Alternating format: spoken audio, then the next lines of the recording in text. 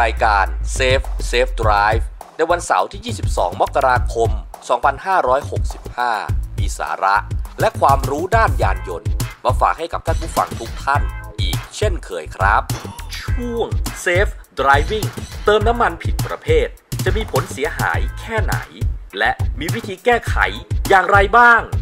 ช่วง Auto News ติดตามข่าวสารความเคลื่อนไหวในแวดวงยานยนต์ ที่คุณไม่ควรพลาดช่วง New Car Toyota ปรับโฉม Corolla Altis GR Sport Raise Your Sporty Ambition ช่วง Auto Story เรื่องราวของคนรักรถด้วยคุณเอกศรีวรจักรเสาร์นี้ มาคุยกันสบายๆ ถึงสาเหตุที่รถคลาสสิกของเรานั้น สตาร์ทติดยากหรือสตาร์ทไม่ติดแม่ จะไปงานรถคลาสสิกทั้งที รถคันเก่งดันมาสตาร์ทไม่ติดซะอย่างนั้น เราจะมีวิธีตรวจเช็ค และแก้ไขคร่าวๆก่อนส่งถึงมือช่างได้อย่างไร เรามารับฟังกันนะครับ ช่วง แชร์คำถาม หาคำตอบ กับคำถามที่ว่าล้อแม็กเบียดฟุตปาดทำให้ล้อแม็กเป็นรอย